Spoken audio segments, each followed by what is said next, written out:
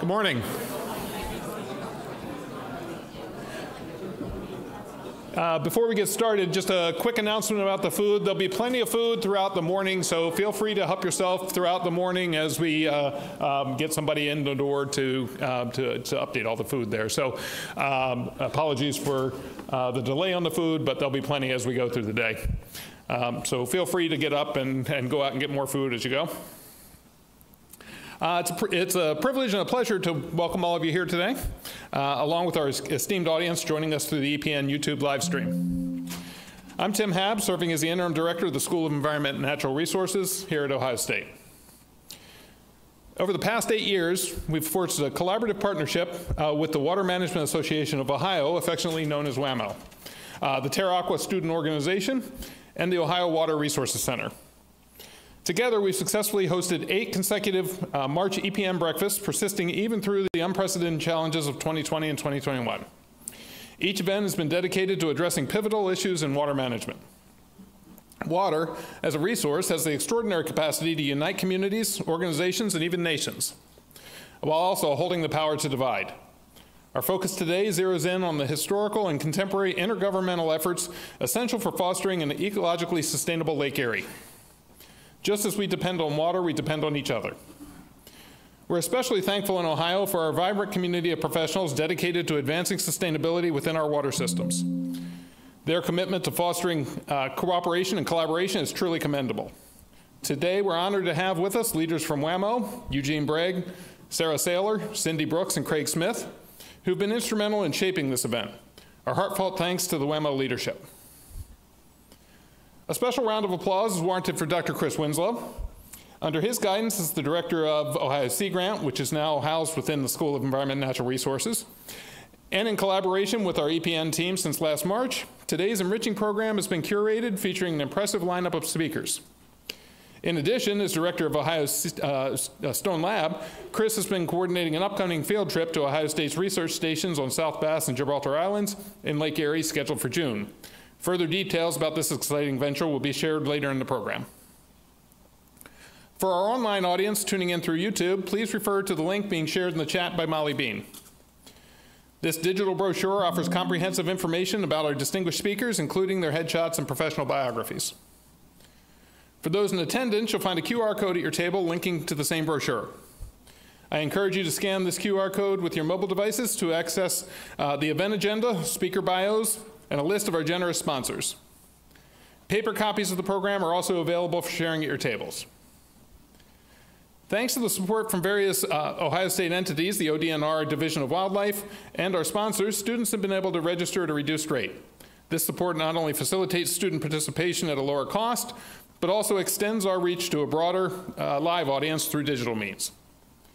To our YouTube viewers, please feel free to engage with us by posting your comments, thoughts, and questions in the chat throughout this morning's program. Our team will be monitoring these interactions and will be taking questions from our in-person audience after 9.15. This breakfast has been designated by the university as an official zero waste event. We kindly ask that you observe the signage around the room and in the hallway, particularly to the left near the entrance, for guidance on composting food items and sorting waste into re uh, recycling or landfill bins as we conclude our event. Further instructions will be provided towards the end of our program regarding the return of your scarlet colored reusable dining ware, a distinctive feature aimed at enhancing our zero waste efforts. Now let's commence with today's program. For over two decades, I've had the opportunity to uh, collaborate with uni university researchers on projects focused on environmental stewardship of Lake Erie including a significant Ohio Sea Grant project funded, uh, Ohio Sea Grant funded research project initiated 22 years ago aimed at assessing the spatial and uh, temporal benefits of recreational boating and angling in the Lake Erie Basin. Subsequent work with Dr. Alina Irwin and Ohio Sea Grant involved uh, experiments and agent-based models to delve into the deeper dynamics of recreation and tourism in the Lake Erie region. I've highlighted several exemplary organizations within our state that are dedicated to addressing water management issues. In a moment, we'll hear from the Ohio Water Resources Center. Additionally, later in the program, we'll welcome representatives from Ohio State's College of Food, Agricultural, and Environmental Sciences and the Sustainability Institute, including Heather Raymond and Kate Barter, who will share their insights while wearing multiple organizational hats. As previously mentioned, the presence of today's distinguished panel, spearheaded by Chris Winslow's diligent efforts in coordination with the EPN, merits our gratitude. Please refer to the program brochure for detailed bios of Chris and our featured panelists. Before we dive into our discussions, Dr. John Lenhart will take the podium uh, to announce the Great Lakes uh, ReNEW Project, an exciting initiative awarded by the U.S. National Science Foundation this project aims to develop innovative methods for extracting valuable minerals and removing toxic forever chemicals from our wastewater in the Great Lakes region, a topic highly relevant to today's focus. Please welcome up John.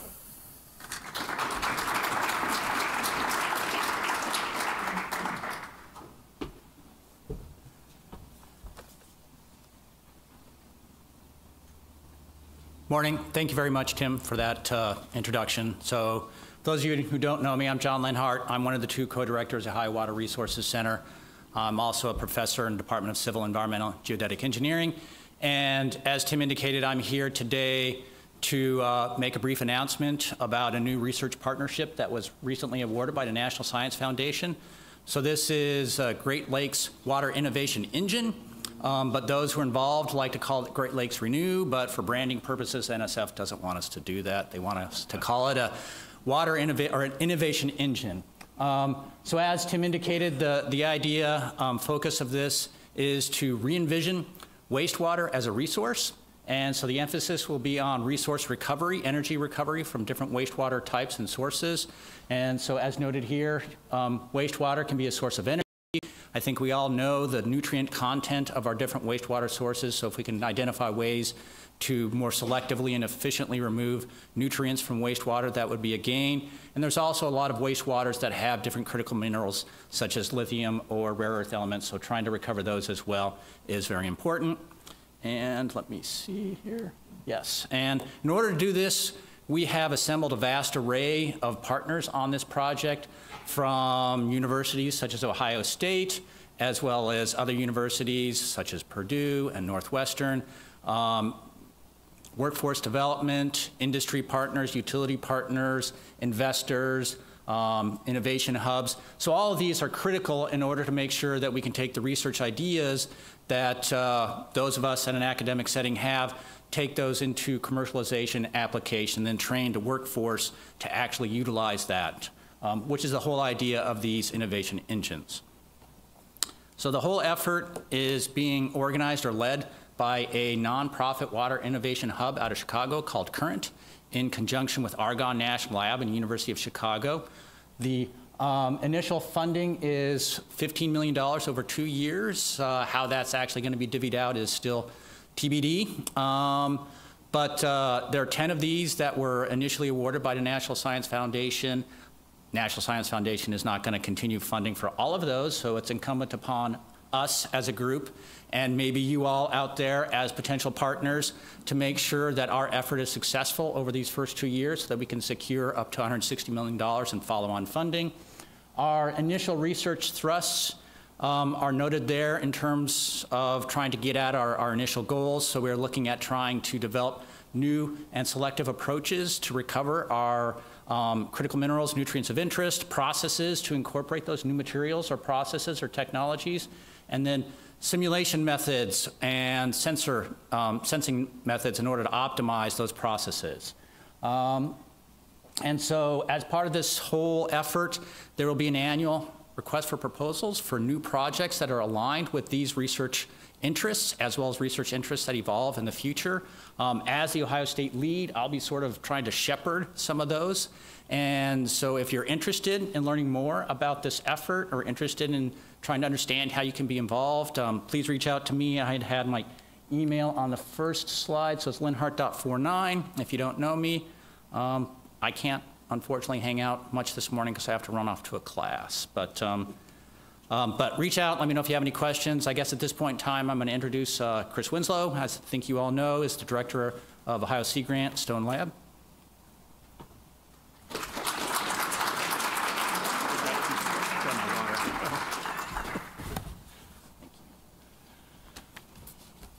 What a great turn. Am I in trouble, Joe? We good? Whew, good. All right.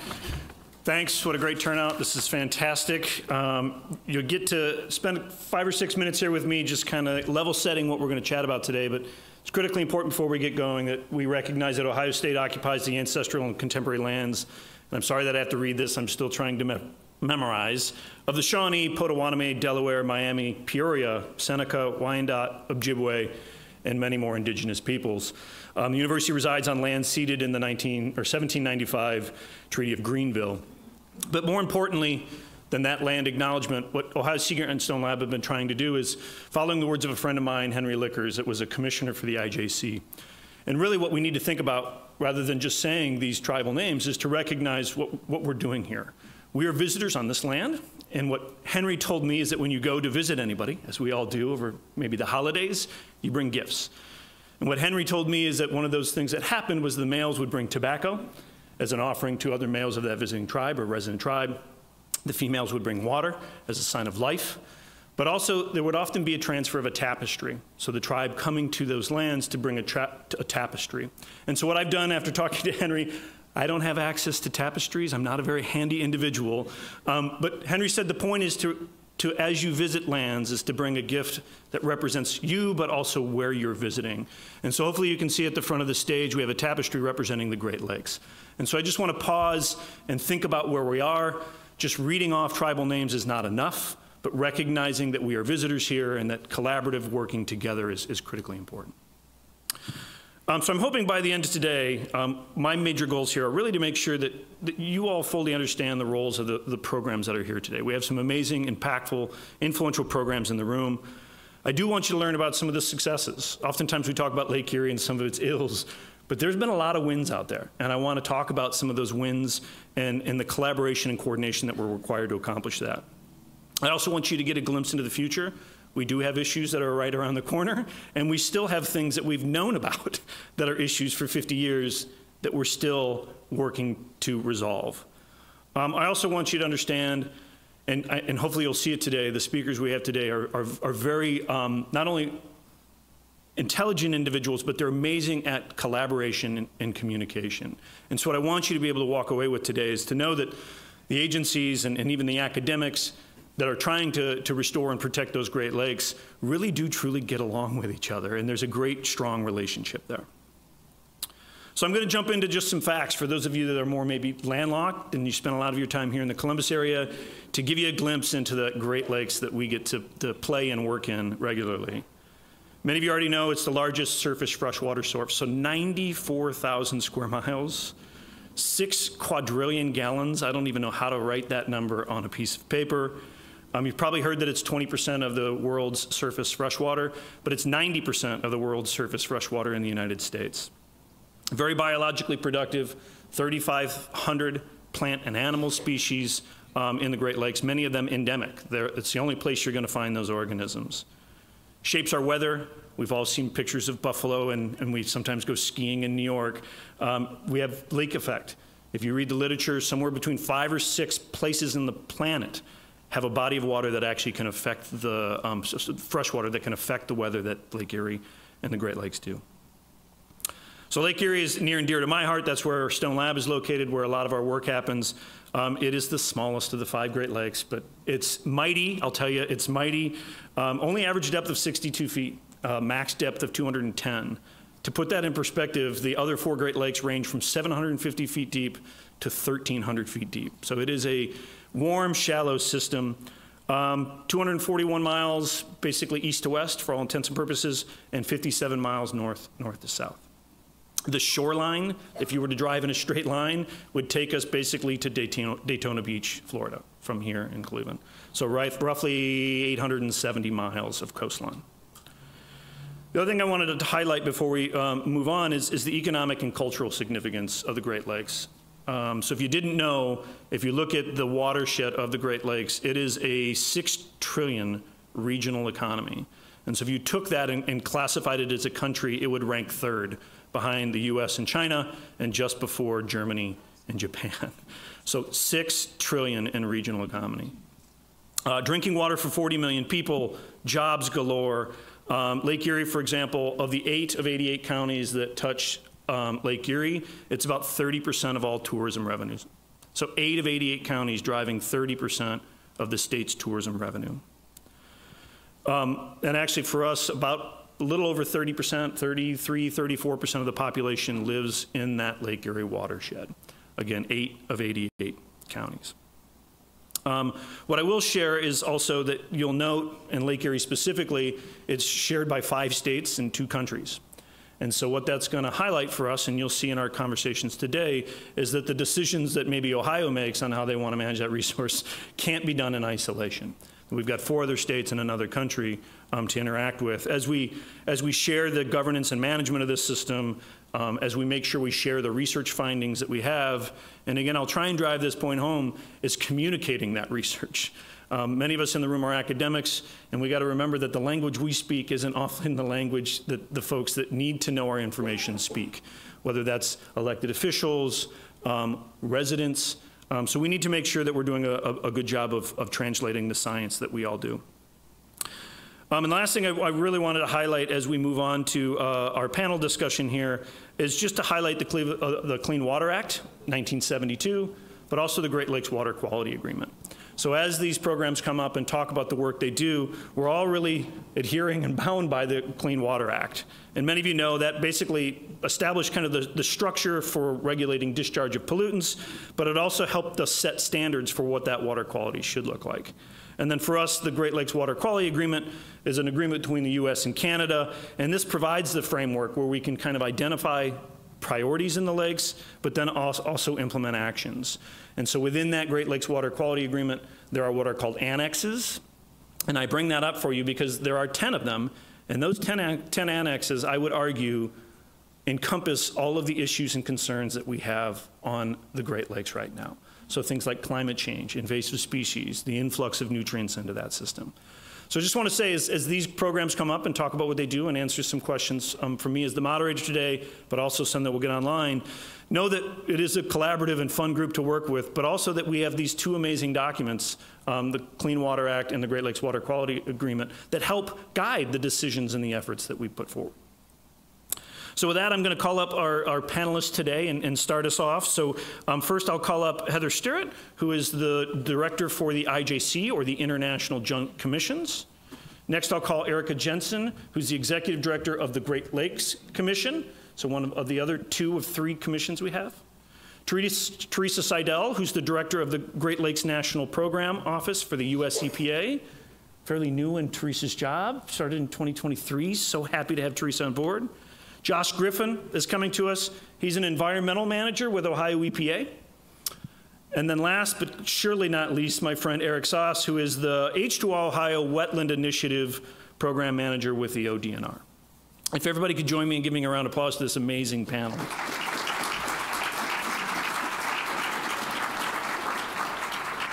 And I say amazing, this is, it, it's awesome. These are friendly faces. I love this group. This is a friendly group.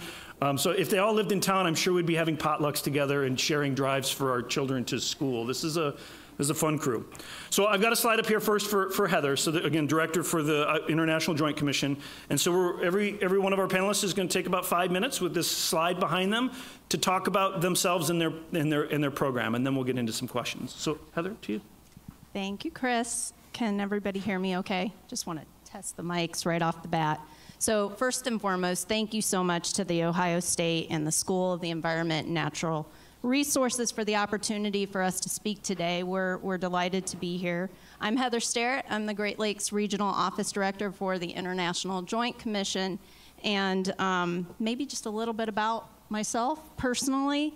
Um, I have been working here in the Great Lakes for several decades. I will not date myself.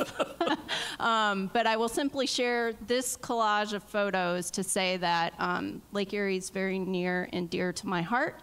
Uh, I love all five Great Lakes equally, but I've spent a lot of time here in Ohio specifically, um, moving left and down and then to the middle and to, to the right.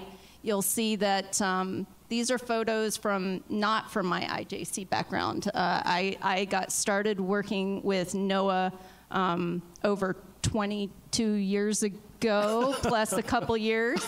Um, and these are photos from a lot of the on site coastal resilience, uh, coastal project work that we engaged in. Um, I'm happy to say I have my pin on today from Old Woman Creek National Estuarine Research Reserve, which I've visited many, many times. Um, have canoed the shorelines of what is a truly unique closed river system. Um, and if you haven't been out there when that river system actually closes at the mouth, it's something to behold. The whole um, chemistry of that lake or of that river system and the embayments there changes during certain seasons. And so I would encourage you, if you haven't visited that research uh, site, you should. Um, spent a lot of time working on things like living shorelines, right? Um, most of our uh, shorelines across the Great Lakes are hard um, armored.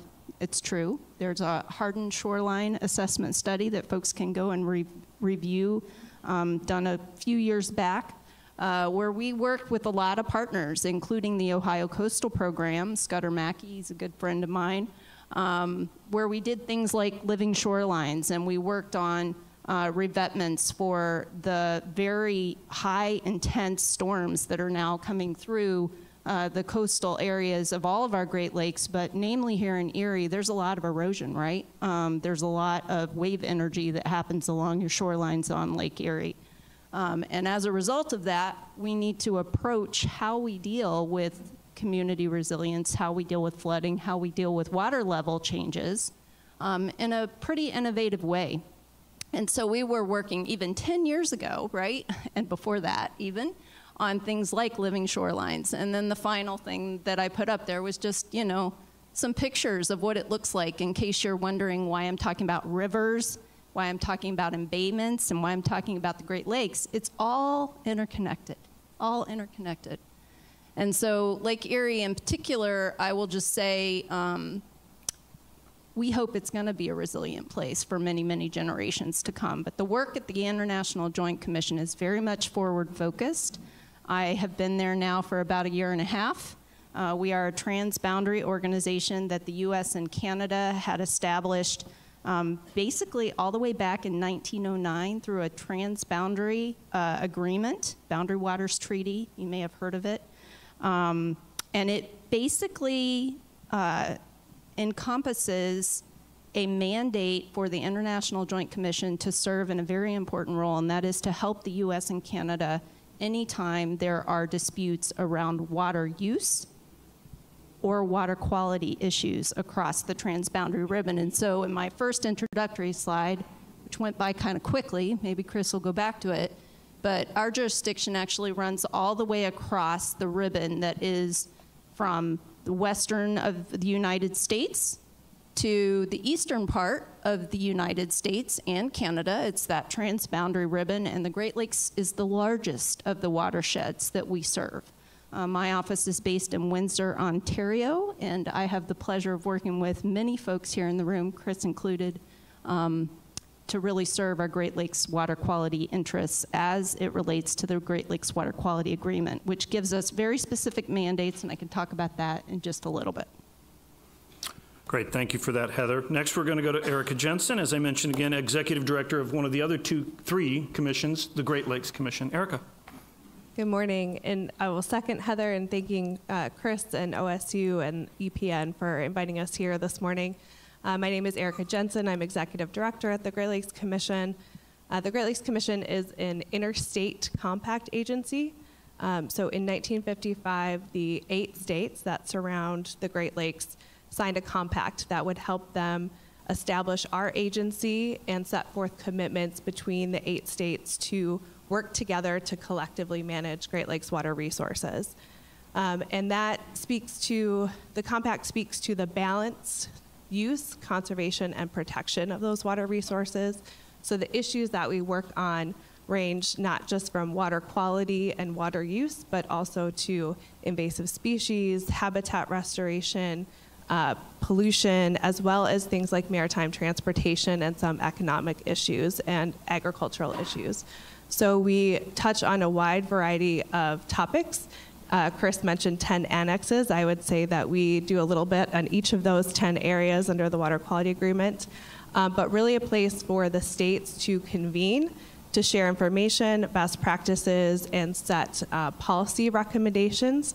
Uh, the commission is a advising and recommending body. We are not a regulatory agency. Um, so we make recommendations to our states, to the federal governments, um, and to others about uh, responsible management and use of Great Lakes water resources. I will also add that we operate binationally. So in 1999, we established a declaration of partnership with the provinces of Ontario and Quebec. So they participate as associate members in our commission. Um, so we do operate binationally in the work that we do. Um, a little bit of introduction of myself. Uh, I have been with the commission for nearly 18 years at this point. I actually started as a Great Lakes Sea Grant Fellow uh, 18 years ago. Um, and have spent my entire career working for the commission. Um, prior to taking over um, as executive director, I managed uh, much of our aquatic invasive species related work, and I worked with several of you in this room on those issues um, for a number of years. Um, and it's just been um, a great pleasure to have the opportunity to work with so many different people, um, to have this opportunity to create those connections, um, to facilitate collaboration and coordination, to bring together scientists, academics, the private sector, managers, and policymakers all working towards this goal of managing and responsibly um, taking care of this great natural resource that Chris did such a great job of describing at the beginning. So more to come, but I will stop there for now. Thank you, Erika. And we'll next go to Teresa, again with the US EPA. And I love that this is one of the images you sent for us to put up. And Yeah, I'm a I'll, I'll scroll through the other ones too, but please.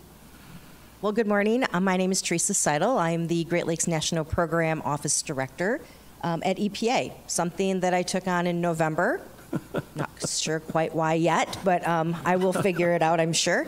Um, I spent 32 years working in environmental regulations, so I'm uh, a recovering regulator too, which is making it a little hard for me some days. I'm out there asking questions, and people think I'm questioning them.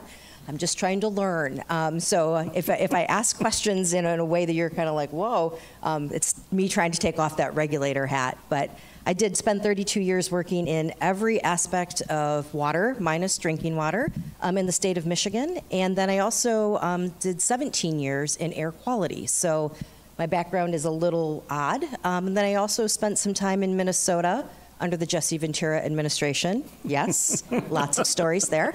Um, as an animal agricultural specialist uh, and a legislative liaison. So my background is um, all over the place, and some days I wondered what I wanted to be when I grew up, and it was not um, in this field. I actually wanted to be a physical therapist. And um, only because I ran track in college and blew my knee out and thought, I think I want to do this. I hated every second of it and went back to my roots of water. Um, and so I've spent the last 32 years working to protect the environment from a regulatory perspective. Coming over to, to the Great Lakes National Program Office at EPA, where I work with these lovely ladies all the time, um, is pretty awesome because I get to wear the white hat now instead of the black hat as a regulator. um, I'm the one handing out the money, so I feel very much like Oprah most days of, and you get a million, and you get a million. And it's, it's strange, um, but exciting because the work we're doing at the Great Lakes National Program Office is just so phenomenal in the protection and advancement of the Great Lakes and really looking for ways to partner with all of you in this room, these folks, these folks, and, and just really working to come up with ways that we can understand what's happening in the environment and fix it so that the Great Lakes are protected. I, I grew up on uh, Lake Superior for 10 years um, as a child and then moved to Lake Michigan. Um, when I was in Michigan, I used to say that four out of the five Great Lakes prefer Michigan um, because they do. And one of our annual things as a family was we would run, um, one day, we would touch four of the five Great Lakes. So we would um, start at one spot and make sure we hit all of them um, in, in one day. Uh, it was quite the journey and a lot of fun, um, but you can cheat um, because you can go to Superior and then hit Mackinac in both sides of the, the lakes and then run to Erie really fast. So uh, pretty awesome. But the things we do at the Great Lakes National Program Office really are trying to work to en- just advance and enhance um, what we're doing in the Great Lakes. So I'm still learning a ton. Um, you're going to ask me questions today, and I'm saying, good question. I'll get back to you. Um, still trying to understand what our role is and how we can enhance things. But I am really looking for those areas where we're going to work together to um, have strong strategies. I really have been watching what's been happening, and my team is amazing and very talented, but I've also noticed we haven't necessarily been super strategic in our work. And I think that's going to be super important as we move forward to come up with the solutions that are going to protect, um, especially in the nutrient realm. Um, you'll definitely see more questions coming around how are we going to advance nutrient reductions in the Great Lakes, um, specifically in the Western Lake Erie Basin, Saginaw Bay, and a little bit over in Ontario. How do we do that in a strategic way that's going to generate results? Um, I feel like we are putting a lot of money out there and not necessarily getting the results. And some of that's, you have to try things to figure out what works, right? Um, but I think we're starting to understand some of the things that will work. The nutrient world is definitely one that's very difficult for us to um, really grasp what will work in every location because I don't think it's going to be a one size fits all. But I'm just excited to be here today. I'm super excited to, to meet all of you. Um, please come and chat with me. I've made a lot of new friends in the last few days. We spent a, a really fun day at a wetland yesterday, freezing, um, and getting pelted by snow, which um, was really rude. Um, Ohio was very rude to me yesterday. Uh, but it's okay. It'll be okay. But thank you for having me today. Thank you, Teresa. Next, we have Josh Griffin. If Josh looks tired, it's because he has a four-month-old at home, so he's he's recovering. He's trying to get through the day here. Uh, but Josh is a Lake Erie Programs Manager for Ohio EPA. Josh. Thank, I'd like to thank Chris for, for giving me that out. I was gonna get, I was gonna use it myself, so I appreciate him for, for getting that one out there for me. But um, I don't have uh, any nice, uh, wonderful images today. I didn't have a lot of time to dig through for the reasons uh, mentioned there. But um, uh, I just wanted to again echo the thanks for, for Ohio State and everyone putting this together, uh, inviting me to be here. It's a bit of a humbling experience for me to be sitting up here on the stage with some of these folks who are, uh you know, really uh, leading their agencies forward and and uh, seeing myself maybe reach that point in my career where I can start to share that perspective for Ohio EPA. Um, Ohio EPA plays a role in managing Lake Erie maybe first and foremost as a as the uh, state delegated authority for the Clean Water Act. So uh, one of those key documents Chris mentioned up front. Um, there we we have you know uh, specific regulatory authorities to uh, manage uh, point sources of uh, pollutants going into Lake Erie and a host of other Clean Water Act programs that we implement. Um, we uh, also play a, a, a, bit of a role in the uh, Great Lakes Water Quality Agreement from the state's perspective. We collaborate with uh, the Ohio Lake Erie Commission to develop Ohio's domestic action plan to uh, address nutrients, uh, specifically among all the other roles of the Great Lakes Water Quality Agreement. But that's been a big focus of my career, uh, has been nutrient management in especially the Lake Erie watershed. Um, and that gets maybe to a little bit of my background is I'm I'm maybe coming at Lake Erie from a different angle that a lot of people have. Uh, you know, I didn't grow up on Lake Erie. I didn't grow up in the water. I grew up on the land. I tell people I'm a land mammal. Um, I, I, I spend some time up at the lake, but I, I, really I grew up in rural Northwest Ohio.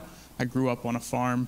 Um, my brother still farms. I, I really have some deep roots in Northwest Ohio, and I see uh, that perspective giving me s- some opportunities to help folks tie together uh, what's happening on the landscape with what's happening in the land. Um, and then as I learn more and more about Lake Erie, helping people who live on the land understand that what they do really does affect uh, Lake Erie. And, you know, I, I feel, uh, you know, blessed to be in this role uh, to, to help share those perspectives and help connect those dots for folks while working for Ohio EPA. Um, yeah. Thank you, thank you, Josh, for that. That was phenomenal.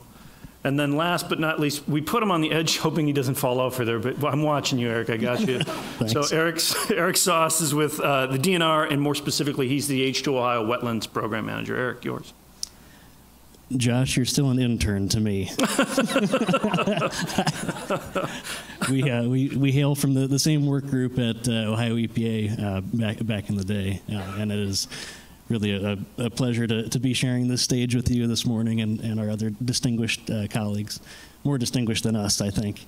Um, but uh, also, this is a, a, really meaningful moment for me here at the uh, OSU Environmental Professionals Network uh, breakfast.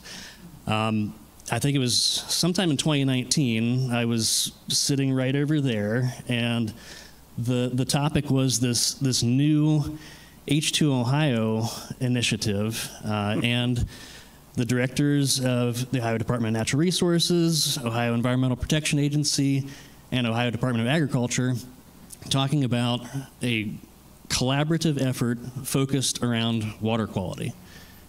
And when ODNR Director Mary Mertz started talking about how we're going to really put the pedal to the floor on wetland restoration and expanding natural infrastructure to improve water quality, that was kind of a light bulb moment for me. I, I think uh, Heather Raymond was sitting over there next to me, and I was like, "Hey, Heather, what do you, what do you think about this?"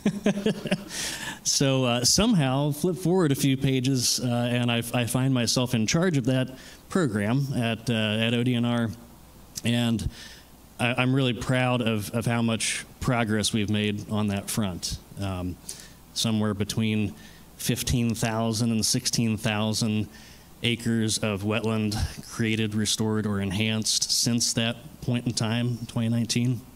And we are on a roll. Uh, we're not stopping anytime soon.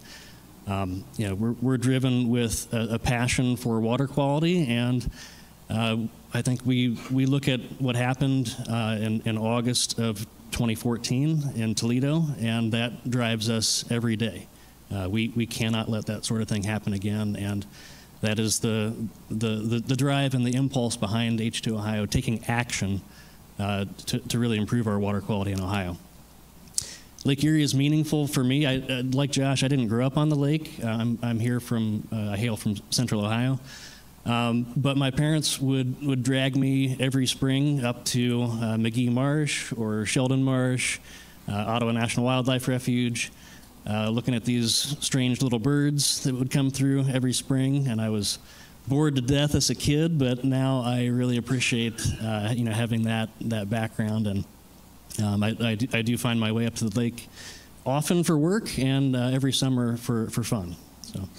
Um, thanks for, for having me today, and thank you for our discussion.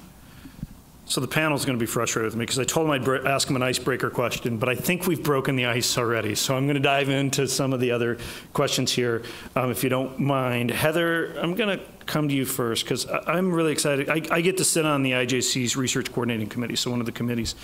There's some great stuff happening in what we're calling the Great Lakes Science Plan space. Can you talk about what that is and what that represents for the commission? Yeah, we are super excited about the work that's happening with the science plan right now, Chris. So thanks for that. And I should say, we should thank Chris. Chris has been very humble in saying that he serves on the RCC committee. He is our chair for the RCC committee. And so without um, the generosity of, of service through our advisory boards, which we have three, by the way, I should maybe start there and say we have a water quality board who's our principal advisor under the Great Lakes Water Quality Agreement. We have our science advisory board, of which there are two parts a science priority committee and a research coordinating committee.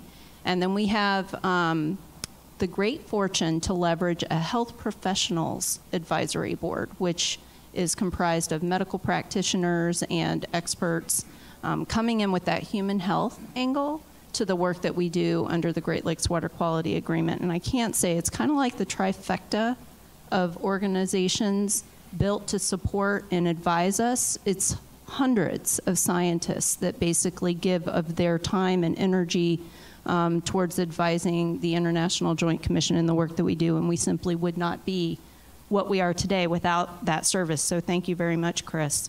Um, science plan. So who in the audience can tell me how many toxic chemicals are identified annually? Just shout out a number. Anybody? Throw out a number. 47. Others? 103. 103. Others? 140. So, what if I told you that the number ranges, depending upon who you're talking to, somewhere between 500 and 20,000 new toxic chemicals identified annually that are then assessed to go on a toxic standard list? Um, the point being that the rate of change, the things that we are seeing happening in our region, nationally, binationally, multinationally, it is exhausting and it is something to keep up with. Um, we, under the Great Lakes Water Quality Agreement, were given a role, a mandated role, to assess the government's progress, U.S. and Canada's progress under the agreement. And so every three years, we produce a report called the Triennial Assessment of Progress Report. And in that report, we report back to the governments the things that they are doing amazingly well. And, you know, to our credit, all the partners on the stage are partners in that effort. Um, we have acknowledged very significant achievements and accomplishments through things like the Great Lakes Restoration Initiative in partnership with a whole bunch of others. But suffice it to say that it doesn't stop there, that these new emerging challenges and stressors, climate change being a very real and present danger, um, it is constantly a motivator for how can we do things better, di differently, be innovative. And I, I, heard Teresa's comment about we haven't been very strategic. Well, I would use the word we haven't been very proactive. We are absolutely doing everything that we can, and we should continue to invest in ways that we're solving the sins of the past, right? Restoring those actions, making sure that our waterways are swimmable, fishable, drinkable. And, and this is an and statement, we need to be forward looking. And so much of the work that the IJC is doing right now is that it's forward looking. The science plan is really trying to dig in on where those unknowns, the things that we don't fully understand, the things that have been so fast changing with climate change that we are struggling with the science that we provide to keep up. There was a time when only Lake Erie had harmful algal blooms. And now we're seeing harmful algal blooms pop up in the coldest of our freshwater Great Lakes, Lake Superior, namely. That's because we're seeing more frequent storms, we're seeing the nutrients roll off the landscape, the land practices are much different, in many cases, much more efficient. Um, we have to be advanced in our thinking. And so I'm going to spend a lot of time at the end of um, when we get to the panel present or the presentations at the second part of this, this engagement talking about the science plan. But suffice it to say, um, we're doing a lot to really think about that. What does it mean for the Great Lakes in terms of early warning systems? What does it mean for the Great Lakes in terms of evaluating human health indicators such that they can be listed in the State of Great Lakes report for these systems? What does it mean when we start to think about the fact that we have such, we have historically had such cold season weather where we can't have four season of surveillance and monitoring out on the lakes. Buoys get pulled, people can't get out on ice. What does it mean if we actually have a man made disaster? What if we have an oil spill on ice? These are all big questions that we're starting to wrangle with, and suffice it to say, we have aging workforces we have needs to build in different perspectives, cultural perspectives, traditional eco ecological knowledge perspectives. It's not just Western science. There's so much that can be learned from our indigenous partners across this region. So the science plan is really aimed at that, and I'm going to talk a little bit more about that in a bit. Thank you, Heather, for that. Erika, coming to you, and you hit on a little in your opening remarks, but can you talk about the Commission's role kind of in that policy space? Sure. And um, just briefly, I failed to mention in my intro that uh, the commission is actually made up of appointees from each of the Great Lakes states, and uh, Director Mary Mertz of the Ohio DNR is our current chair. So I did want to make sure I mentioned that as well. Um, but yes, um, as I mentioned, the commission, um, we're an advisory, a recommending body. Um, but one of the, the strengths and things that we're able to do is um, when we're convening our states and provinces and identifying issues, um, but also identifying solutions and needs and opportunities where there's consensus, um, we are able to advocate for those policy changes, um, programs, uh, funding that supports all of the work that um, folks on this stage do to some extent through the Great Lakes Restoration Initiative, but supports our activities in the region. So um, we convene um, an annual statement of federal priorities. Um, so we're just back from Washington, D.C. Uh, about a week and a half ago, um, where we presented our priorities to the U.S. administration and Congress and said these are the important um, programs, policies, and funding that you should be working on that underpins the work that we do in the Great Lakes. So um, things like funding for the Great Lakes Restoration Initiative, um, to some of Heather's comments, making sure that our federal science programs that are doing some of the forecasting, modeling, understanding these climate changes that we're seeing, that the Great Lakes um, gets sufficient attention within those programs because we know that our region is unique and the impacts that we're going to see are unique and we want to make sure that those science programs are adequately addressing the types of modeling and forecasting um, that we need in the Great Lakes region. Um, things like um, dredging for navigation, but also recreational access. So we know along the shores of Lake Erie we have um, commercial ports as well as recreational harbors that are important to the um, coastal communities in these areas. So making sure that we're getting um, sufficient federal resources for dredging and keeping those um, important ports and harbors open. Um, looking at programs under the Farm Bill, so um, conservation that helps support these uh, practices on the lands that can keep nutrients um, and other things on the land where we want them and out of the waterways where they can potentially contribute to these um, excess harmful algal blooms. Um, aquatic invasive species prevention and control, so continuing to fund um, and support important programs that are preventing the movement of invasive carp towards the Great Lakes region, um, but also preventing the importation of new species into um, the U.S. and the Great Lakes region. So um, we play a very important uh, policy and advocacy role on behalf of our states um, that helps to make sure that um, Great Lakes priorities are reflected in our national policies and programs. Thank you, Erika. And I'm glad you mentioned, I mean, all of us, I think, were in DC two weeks ago on the Hill talking with our congressional delegation. And it's great. I, I, get to walk into a lot of those offices, and I'll tell you, it doesn't matter whether it's Republican or Democratic office. When you walk in there, they don't see a difference between a healthy environment and a healthy economy. It's impressive, the, the folks that we have in the Hill right now and their passion for the Great Lakes it's really exciting to see. And, and the mention of that word advocacy, I always hear that and I think, is that advocacy with a capital A or with a lowercase a? And what I mean by that is lowercase a for me is we're advocating for the science, right? We're advocating for science to inform decisions, and that's what this team up here on the table does very, very, very well. Teresa, coming to you, and we've mentioned GLRI or Great Lakes Restoration Initiative a lot. Can you help the audience kind of understand how that, that rolls in, in your office and how you work with other agencies, and, and, and just talk about the GLRI for us, please. Absolutely. So the Great Lakes Restoration Initiative, and we were just in DC two weeks ago, feels like yesterday, um, really trying to, to keep that at the forefront. I walked out of that uh, week long session just amazed at how this really is one of those things that unites people. Everyone recognizes the importance of protecting the Great Lakes and the work that the Great Lakes Restoration Initiative does. But it's not just what happens in the Great Lakes National Program Office. There are 16 federal agencies that come together to determine how the money is going to be spent.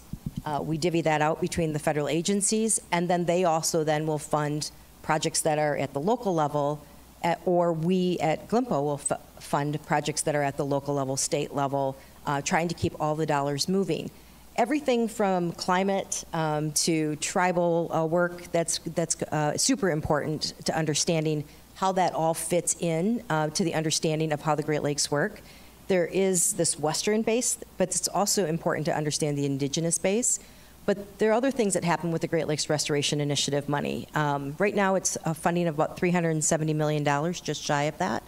We are looking to try and boost that to 550, which would build, build in uh, what the uh, bill money, the bipartisan infrastructure law money, has brought in an additional billion dollars, which sounds like a crazy amount of money. Um, and it is a crazy amount of money. It's not going to be enough to finish the work that needs to be done on our area of concern. It seems like it should be, but to be honest, we're all competing for the same resources right now. So as we're working on a project of dredging over in the Cuyahoga, Milwaukee is also working on a project for dredging as is Detroit. And so trying to find folks who do that work, business plan model for someone, um, there is not enough contractors out there that can do this work. And so we're competing for the same resources, so all of the projects are coming in much more expensive than you would have anticipated. And a billion dollars seems like it would have fit. It's not going to. But that money is then, like I said, divvied out between the federal agencies, 16 of them. Um, and then we will also uh, work, I said, work with the states one of the other pieces of that is the development of an action plan. So right now we're in the development of Action Plan 4, so the Great Lakes Restoration Initiative Action Plan 4, which will set the base for the next five years on how we're going to work and what work we're going to focus on. In that new action plan, which will come out uh, first week of April uh, for public comment, so please do put your comments in there. It's super important. We do want the feedback. We held, I think, five sessions. They were all pre-me um, across the Great Lakes, uh, getting feedback from communities on what they wanted to see in the next action plan. So that action plan will come out here, um, like I said, the first week of April. Um, the reason we were hoping to do it at the end of March, but the good news is we're going to announce um, our environmental justice uh, grants um, the last week of March. Um, we were hoping to do that this week. It's going to be the last week of March now. Um, and that's another piece that's within the Great Lakes Restoration Initiative is really trying to work with those communities that are underserved and underprivileged and making sure we're getting funds out into the community and developing ways to give capacity and develop projects that can work in an underserved community. So those grants are going to come out um, the end of March. Um, I hesitate to even say that because uh, the announcement was coming out of the region. It's now coming out of the White House. Um, so all bets are off. Um, so it, you'll see Great Lakes Restoration Initiative um, action plan come out the week following that. But we do want the, the feedback on, on that. But that plan does set what we will do for the next five years and where we're going to focus our energies and our projects. Obviously, there are things we must do um, under that plan, and the federal agencies are such a major piece of that that they too um, are very in, involved in the development of the plan. And so as a result of that, you'll see that coming out hopefully the first week of April. Uh, but just the partnership is super important.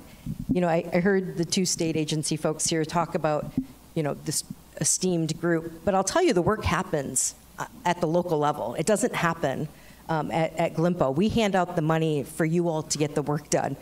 It's kind of like mom telling you to clean your room, um, but it's so important. What the states do and what the locals do is is where the work gets done. So without having those partnerships, there's no way that EPA could handle any of this work without the partnerships that come from the relationships we have with the state, the other federal agencies, and then the local NGOs. So, you know, never ever underestimate what happens. I'm just here to make sure the funding gets done and that we have organ an organized approach to doing it. But the work happens with all of you. So don't ever lose fact of that. Teresa, thanks. And I love the highlight on the environmental justice because the AOCs, the areas of concern, is one of the things that US EPA works on the GLNPO GLR money.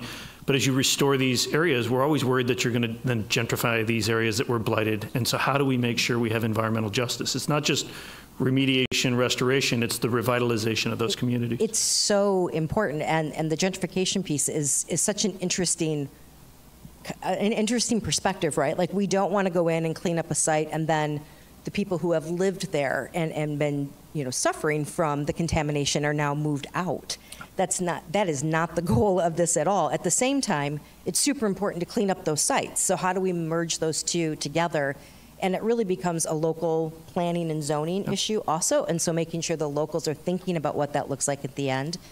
Something you're going to see also here um, and I'm stealing all the thunder of my staff, and they're going to love me for that. Sorry, guys. Um, is we are adding projects to the end of some of our areas of concerns that are close to being finished because we, we recognize the importance of making sure that the people who live in that community have access back to the area so that it, it will be there forever. So we're trying to build those projects in right now, um, and I'm really excited about those because it's something we hadn't thought about before. It, it, it's it's a concept, you know, environmental justice. If if this were easy, we would have already done it, right? It's I have that philosophy a lot, and, and we're seeing that with some of our projects, making sure we're building back in some kind of access back to the resource. So it, it's a really important point, Chris. It's fantastic. Thanks, Josh. Coming to you. Um, I know the hat you've been wearing for many years now is working on the TMDL. So can you talk to the folks in the audience that can kind of be a, a an amorphous project and process. Can you kind of give folks an idea of what the TMDL and, and what you've seen happening in that space, if you could, please? Yeah. So, hmm. TMDLs are are you know I think I I talked about uh, the Maumee TMDL last week and I said it, it, one of the things about TMDLs is we use a lot of jargon and, and that jargon starts with just TMDL, uh, total maximum daily load. It it it really uh, encompasses a lot of uh, of work and we use it really fluently. It just flows off of our tongue. Uh, expect people to understand what we're talking about. But really, uh, TMDL comes down to being a, a, bit of a diet for a water body. Is is the corollary I like to look at. You know, so um, we have a goal for a water body. You know, we establish those goals uh, with our uh, under the Clean Water Act. If it's not meeting those goals, much like I'm not meeting my goals right now. Um, and I'm on a diet. Uh, we, are working on a diet for uh, Lake Erie, uh, and, and, with the Maumee Watershed Nutrient TMDL that I worked uh, extensively on, we were working on a diet specifically for the western basin of Lake Erie and the algae and nutrient related issues.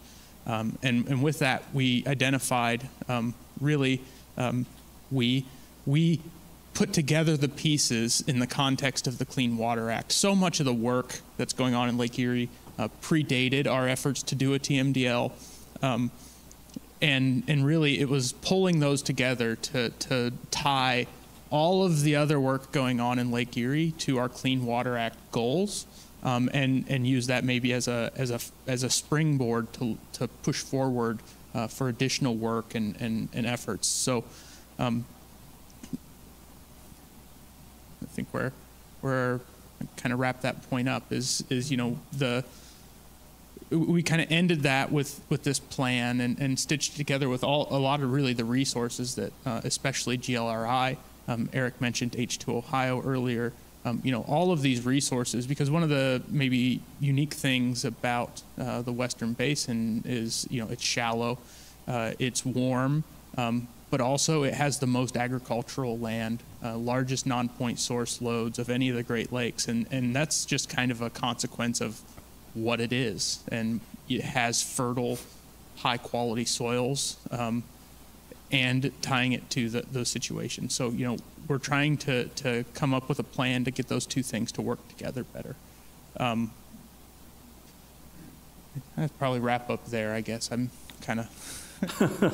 Thanks, Josh. We'll get you some sleep here in a little bit. Hang tight. Hang tight. Now we're coming to Eric, and Eric, as, as he mentioned, is with the DNR and, and in the wetland space. So, Eric, I'd just love to hear you talk about how H2Ohio kind of manifests in your job, and can you talk to about the folks about what's going on in that wetland area, please?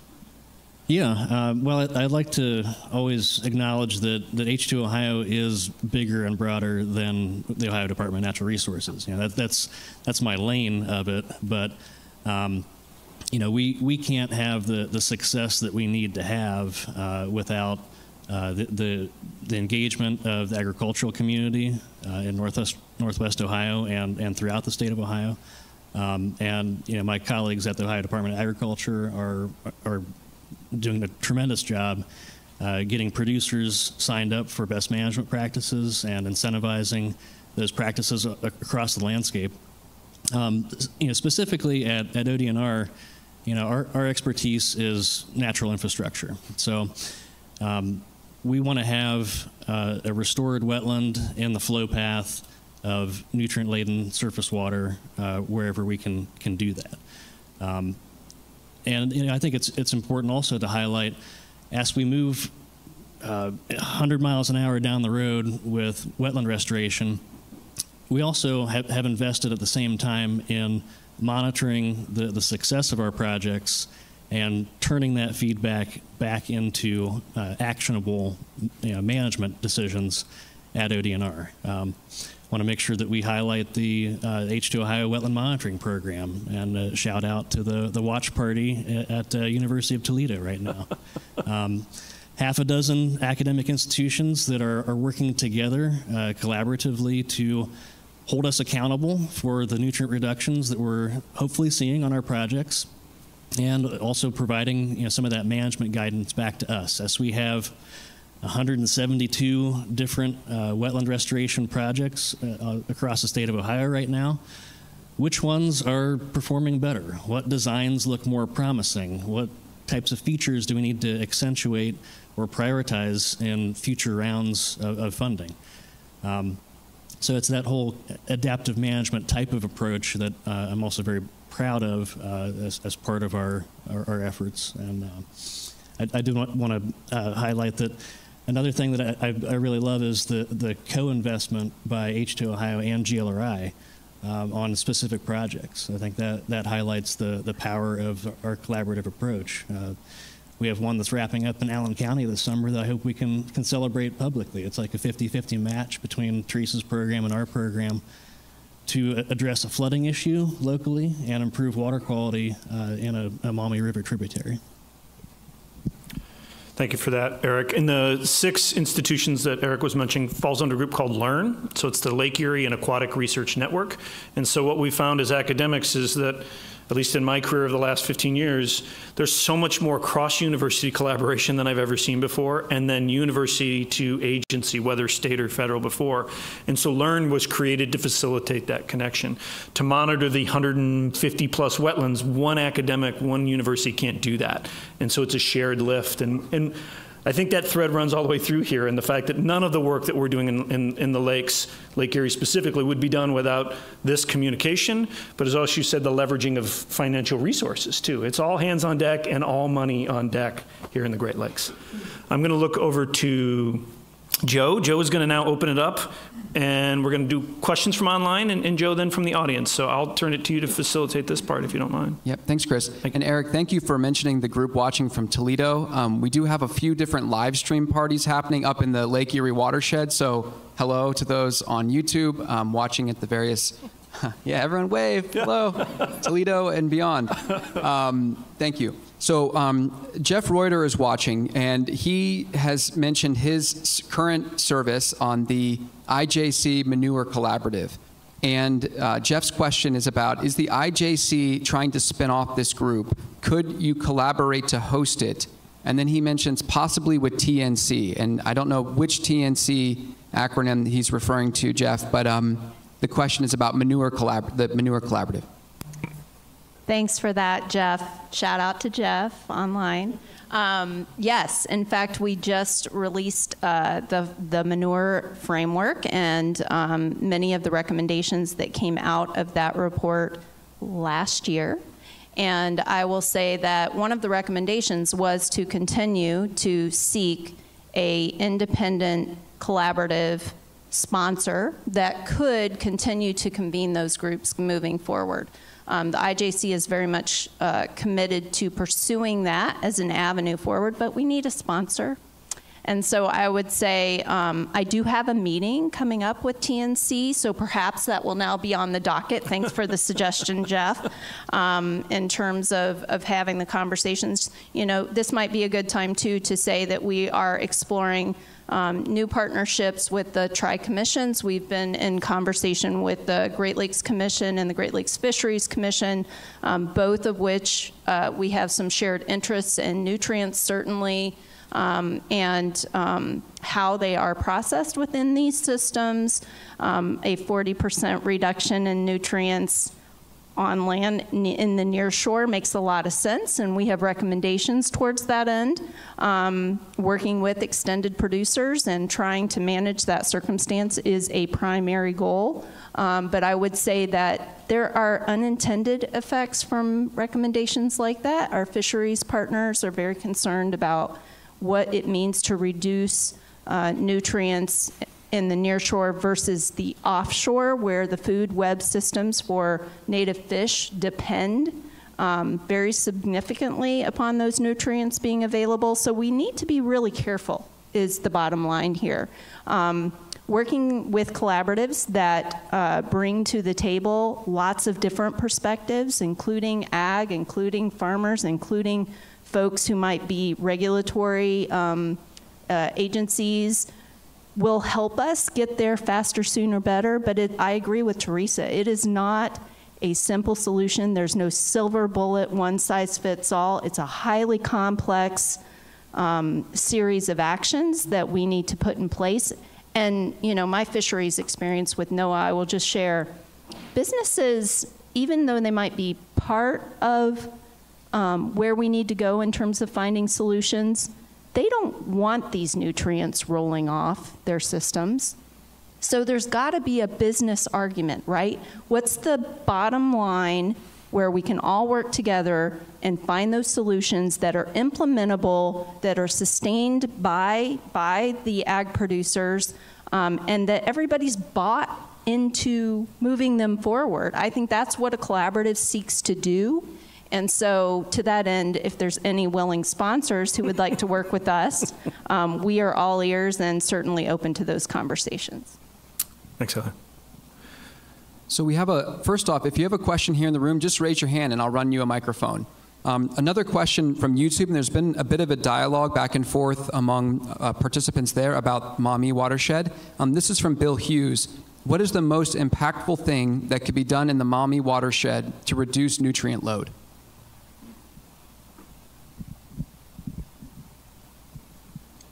Think I, I'd like to highlight one of the ongoing efforts we have right now, and, and, a, and really a core of ODA's H2Ohio program is nutrient management planning. And, and that comes down to making sure that you're putting nutrients uh, where you need them, uh, not getting them where you don't. So, uh, I, and, I, and I think we have, a, have really ex, a, a robust voluntary nutrient management planning framework uh, building in the watershed. I think in our, our upcoming enrollment, we're looking at hopefully having uh, 50% of the acres enrolled in that program, where we're really uh, working with uh, agricultural producers to to bring them some of that technical expertise and, and resources to help them uh, implement the technology they need to make sure we're getting nutrients uh, where they need them and not where they don't. So I think that's like as a single uh, item, um, just uh, from an agricultural landscape perspective, our biggest source in the watershed. That's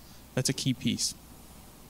And Josh, might I add to not just horizontally where we need them, but also vertically. We know that subsurface placement is one of the best practices that we see out there across the landscape. Yes, and that's part that that gets tied into and flows from those nutrient management plans as well. Thanks, Josh.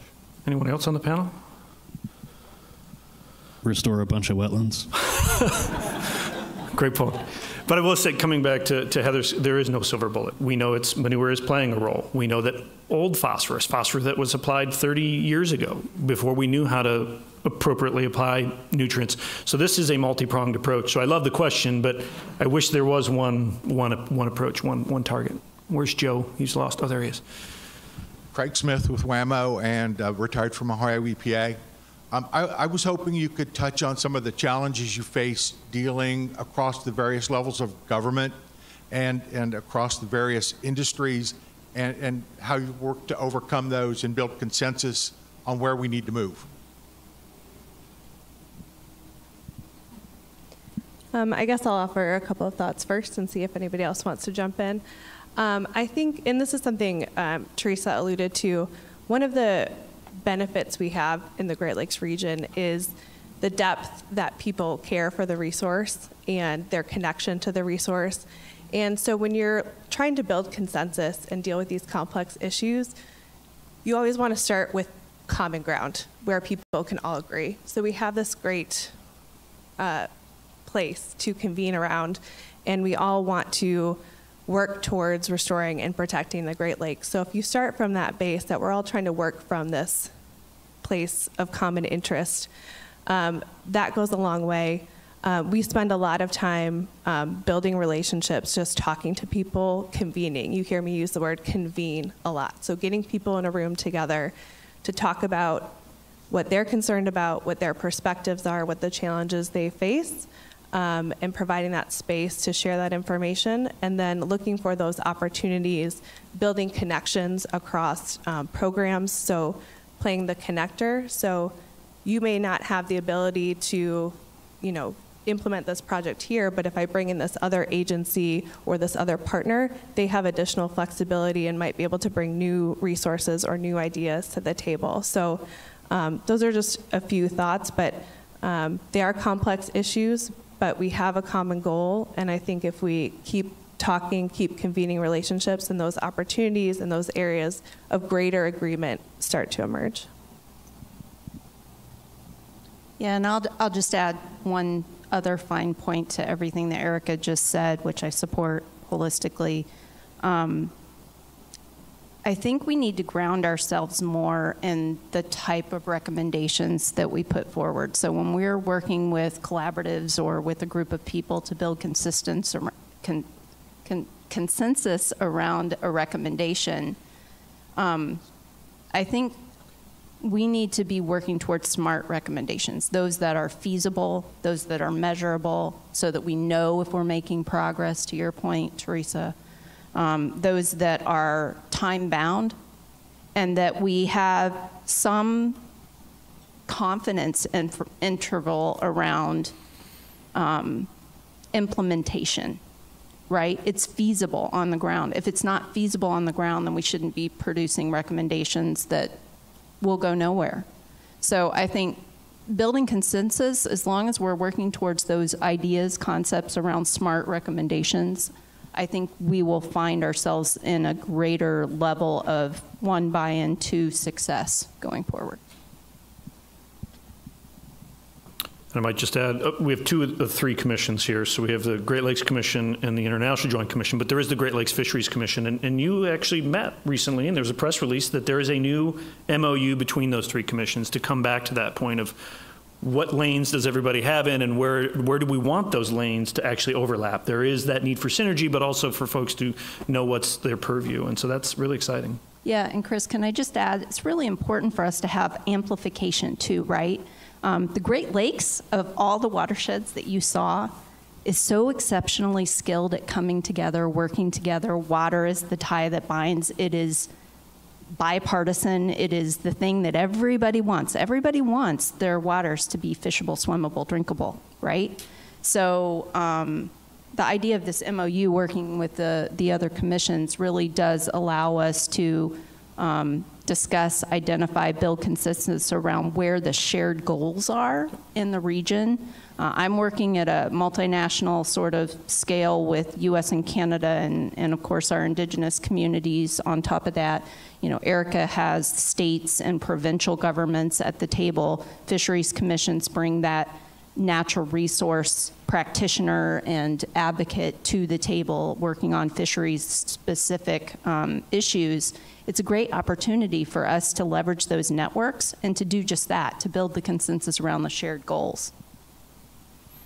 And I would add to that as an example. Um, you mentioned the productivity issue and reducing nutrients in the nearshore without impacting detrimentally offshore productivity. And that's a really unique space for the three commissions because you have this issue that's impacting our ability to manage our fisheries to the goals that we want while also trying to meet our nutrient objectives in the near shore, which IJC and GLC are very involved in facilitating those practices. And then you added the added complexity of the interactions of invasive mussels in the near shore in Lake Erie and how that's impacting this complex problem.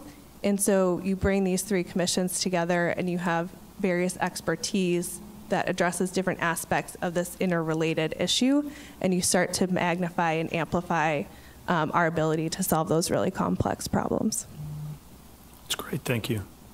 Joe, I think you're in the. Oh, there we go. Uh, hi, I'm Deanne Jensen. I'm from the Maumee Watershed Alliance. It's a nonprofit based in Fort Wayne, Indiana, at the headwaters of the Maumee. Um, speaking as a nonprofit um, within the agencies and the academia, um, there's a consensus among these smaller nonprofits where we don't have the capital as, say, TNC uh, to offer sponsorships and collaborations. What is your perspective on the role of smaller nonprofits within the overall goal of uh, restoring, maintaining, improving the Great Lakes watersheds? Fundamental. um, it, you know, I think maybe the the piece that I should highlight when it comes to wetland restoration in, in particular. Um, our program could not happen without uh, the, the, engagement of, I think at this point, almost 80 different nonprofits or municipalities, NGOs that, that manage our projects. That, that's the only way that this work can get done. And I think, like, like Teresa mentioned, you know, to build on that, um, the, these projects happen from from the ground up typically, and and we we need the engagement of, of uh, you know, folks who, who care about their watershed and, and want to see it uh, improved. Um, that's, that's where that work gets done. Yeah, I'm going to echo that quite a bit. Um, Healing Our Waters is, you know, a major partner with um, GLNPO, and so if you are you a member of Healing Our Waters? We'll chat. Um, it, it's it's imperative. The the small NGOs, the small community action groups, the small environmental justice groups, whatever it might be at the local level, are the ones who know what's going on in their community. Way more than the states will ever know. You know, I'll put on my state hat for a moment. Yeah, I, I, need I need to hear from you in order to be able to help move your needle, right? So your role is is vital and critical to, to moving the needle for your community. So always be that voice. Um, and, and sometimes it'll feel, be, feel frustrating, I guarantee it. Um, but it, it isn't that people aren't hearing you. Sometimes it's like we, we need to figure out how to mesh you in. And, and so just keep pushing and, and be part of that conversation. But it's critical, um, whether, like I said, whether it's somebody working on, um, you know, the headwaters of the Maumee, which thank you for doing that because that's not easy, or working in a community trying to get some climate work done um, on some flooding issues. You know, I, th- I think of, you know, southeast Michigan um, has massive flooding issues and needs about 4,000 more wetlands. Um, plug for wetlands. Um, wetlands are huge. People like that. It is critical to the success of water qualities having strong wetlands in the area. But working with those local communities and hearing their voice in there, we're not always going to be able to solve the problem, but we need to listen more. So going back to the question that was asked earlier on on the collaboration and how do you work with those partners, it's we're not always going to agree on the topic or, or the discussion or the funding mechanism or the project, but keep pushing for your community. And just to, to add on to that, th- this is something land grant extension agents can help with, engaging the communities to the universities, but also Sea Grant agents. But I'd also say, if you don't, if you're not aware, many academics can't get grants anymore unless they have broader participation on the front end of that research project and broader implications on the back end. And so what our funding agencies have found is if we don't have the thoughts and the opinions of those local communities, that grant project's not going to be successful. And then also we have to deliver products on the back end that actually move that needle. So keep raising your hand and keep getting engaged. It's absolutely critically important. So time is running out for our morning session, which includes the live stream. So I want to make sure we get time for one more live stream question, and then we'll have one more question in the room. So Larry Antosh is with us online, and Larry asks, with our changing weather patterns, how do we move into watershed, water management, in addition to nutrient management? That's a that's a good question, Larry, and I think that's something I I maybe was a bit short-sighted when I jumped in and answered that question earlier. You know that there isn't a silver bullet. Um, we do see some kind of core principles to flow forward from nutrient management to drive all of the other things we have uh, going on, but there is a bit of a paradigm that I think we need to recognize in that you know nutrient management and water management are essentially one and the same. Uh, we don't get nutrient loads leaving the landscape if water doesn't leave the landscape. That's how we start to see some of the wetland work become really essential in our in our strategy to address uh, nutrients le- leaving the landscape in in uh, our rural watersheds. I would just second that and just say this is something the commission has started to talk about when we were in Washington D.C. the other week. We had our um, some of our commissioners meet with our colleagues at USD NRCS and start to talk about how some of those um, conservation pro- programs can be leveraged and start to think about this broader integrated water management and deal with these increased flows and things like that, in addition to just the nutrient management component. So, this is something that we're definitely talking about within our commission. So there's also multiple studies going on on climate resiliency and climate work and what, on how that works back in with nutrients. Just with just that GLNPO is funding, um, and I know there are thousands of more of those. But so much of this comes back to understanding, you know, the sizing of systems too, not just the runoff that's coming from from farm fields um, or, or other areas, golf courses, things like that but it's also important to be thinking about the overall infrastructure component of this too, whether it's in a municipality, whether it's stormwater, you know, you know, I keep stressing the wetlands, but it's true. The more wetlands you have, the more flood control you have, the more nutrient, you know, capture you have. working on a holistic approach. It, it isn't going to be this is the answer. It's it's going to be these layered on approaches, not just one approach in one area. Even when we're talking about agriculture, we, we're probably going to need to look in certain areas for layered on BMPs, not just a BMP that's going out there. You, know, you can't just have a specific best management practice. You might need two or three for a site, depending on the site. So it's got to be thinking through the whole process, not just one piece at a time, but holistically for, for a site, but also for a community. You could argue there is no best management practice, right? They're management practices. It's got to be layered. Yeah, Josh, did you have one more, I think? But I think we're getting close to shutting down the online here one. I do, just to highlight a project funded uh, through GLRI, um, working with our Ohio Department of Agriculture in this space, is thinking about maybe just really changing how we think about water management on an ag field perspective and retaining some of that water uh, when we have a lot and using it later in the growing season when we don't. So we have some really good pilot projects going on in that space, and I wanted to highlight that one. I think it's going to be interesting. Hi, um, my name is Nicole Lopez. I'm watershed coordinator with Cuyahoga Soil and Water Conservation District. Um, and my question for you guys was, Teresa, I know you mentioned the GLNPO grant for environmental justice, but aside from funding, advocacy, and the common goal to restore and protect water quality in the Great Lakes, how do you all keep each other accountable and collaborate to drive environmental justice efforts in the area? That is a great question. Uh, so, a couple things. If you look at the former action plans, the Great Lakes Restoration, Restoration Initiative action plans, you didn't see a lot of conversation around climate or EJ. Last time we added a, a, a tribal page to it. We're getting there. Um, and as far as accountability, you know, I think we have this triennial assessment of progress that comes from the IJC, and they report back to the federal agencies on how well we're doing. And, you know, it's a good check for us. We listen to the comments, we, we, we digest them, but we're also looking back to the communities and, and trying to have those on the ground conversations. This is not um, normal for us, right? This is not what federal agencies have historically done.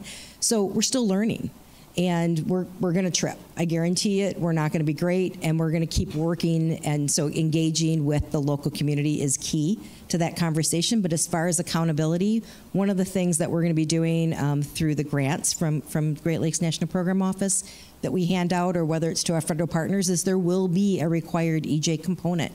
To, to, the work that we're doing like how does this benefit the community whether it's in you know a city or um, a, there was a term I heard yesterday, and I really liked it. It was, you know, non-traditional farming.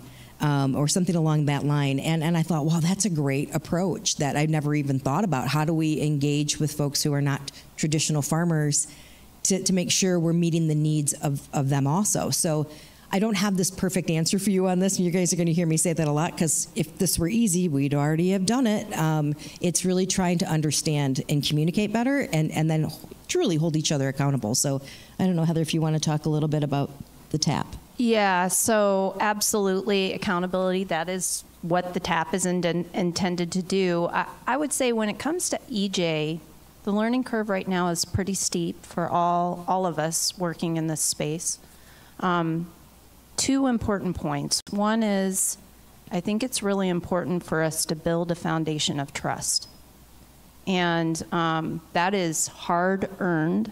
It is long term. It is not a one off conversation. It is a continuing dialogue with communities that have been affected disproportionately for a very long time. So that comes with its own, excuse me, very heavy lift. And it needs to be genuine and heartfelt and continued. So that's my first point. My second point is um, all the funding in the world is wonderful to offer, but unless a community, an EJ community in this instance, feels like they actually have access, they understand the process, they can come up with match. We've tried to eliminate a lot of the match requirements and a lot of the EJ related work, which I think is a huge testament to we're learning, we're doing better. The goal here with accountability isn't to point the finger and say, you did a bad job. It's to say, here are all the ways that we could be doing better. Let's work together to do better. So, you know, I, I think that trust component is super important. We have to start there. We have to start building relationships. Um, that is, again, not the easiest path for, for, for many of us who haven't worked in this space extensively and are learning. Um, but that second piece of identifying where the barriers are and looking to remove them.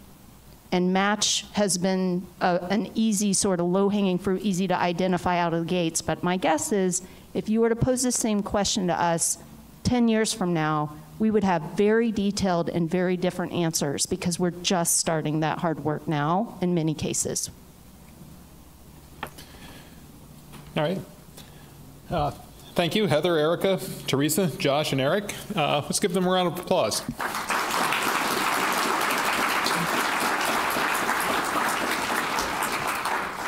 I Want to also thank Chris for moderating.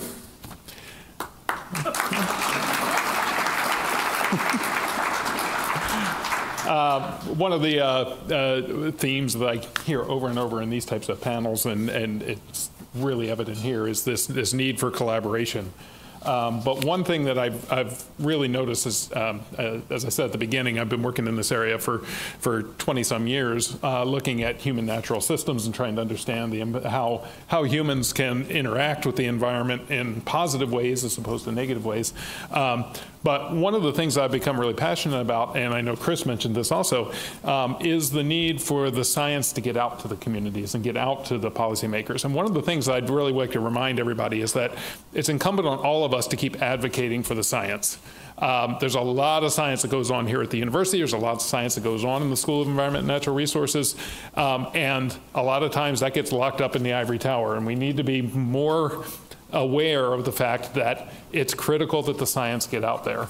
Um, and it's partners like these that really help us get that science out there. So uh, please keep advocating for the science because there's good stuff going on at the university and the trust in that science is being eroded. Uh, and we really need to be uh, more aware of that. So. Um, as is our EPN tradition, we want to recognize each of you with a certificate of appreciation. Uh, Joe's going to help me here with uh, handing those out. Uh, and while Joe's handing those out, I'd also like to take a moment. Uh, a lot of times we see Joe running around here and uh, you don't know everything that goes on behind the scenes. But I want to take a moment to just thank Joe for all of his work with the Environmental Professionals Network because we often forget what happens, what goes into this. So. So thank you again to our panel. Um, we have an excellent in-person program continuing right here in this room uh, in about 15 minutes. Uh, so please refer to your agenda uh, in your program. Uh, Heather, Erika, Teresa, and Josh, uh, uh, and Eric uh, will each have additional time to dive deeper into the work of their respective agencies. And we'll have a few special guests join at the podium as well to share on their uh, work to restore Ohio's North Coast. I'm going to skip some of these comments so that we can get moving on things. Uh, but before we take a brief break, uh, I do want to encourage you to uh, learn more about our upcoming EPN events, uh, including a very special April event that's in the works. Uh, taking place on the evening of Earth Day, uh, Monday, April 22nd, we'll host in collaboration with the Chadwick Arboretum and Learning Gardens and native plant enthusiasts from across the state a one-of-a-kind feature, Eat This Earth Day. or maybe I should re emphasize that, Eat This Earth Day. Uh, the Fawcett Center at uh, Ohio State will be transformed for an evening-long series of interactive exhibits where you will eat and drink from Ohio's native plants, including the American pawpaw, sugar maple, and the low bush blueberry, as well as hybrid chestnuts, acorn flour, and many kinds of native shrub berries.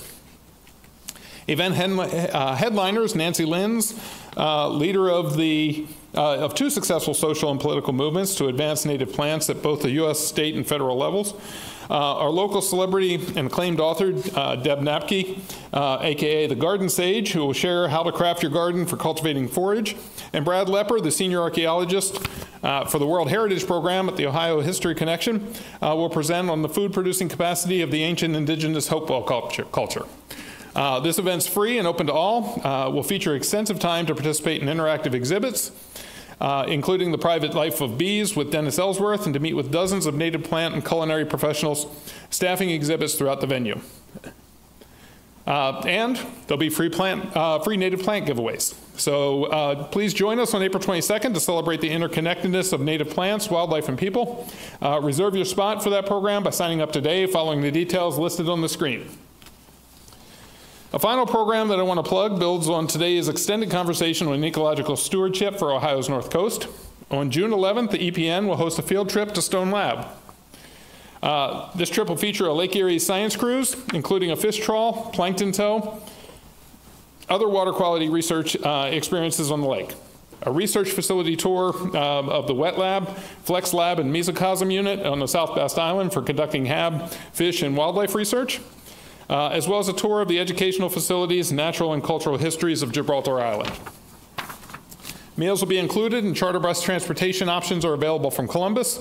Alternatively, if you would like to provide your own transportation or if you live closer to the lake, then you're welcome to join us directly from the Miller Ferry on Catawba Island. Uh, register for our June 11th event today by following the details on the screen. So you don't miss out on any upcoming details and opportunities, we encourage you to become an EPN member today through a free and easy process at epn.osu.edu. Once an EPN member, you can post events, job openings, and receive announcements about forthcoming breakfast programs and other event happenings in our region.